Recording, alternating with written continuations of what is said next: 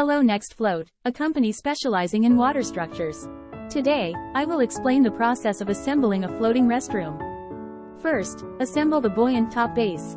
Fix the cylindrical toilet case to the center of the float.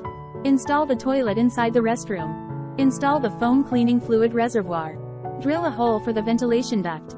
Install the ventilation ductwork. Install the automatic sensor device. Check if the foam is coming out well. The bubble toilet installation is complete.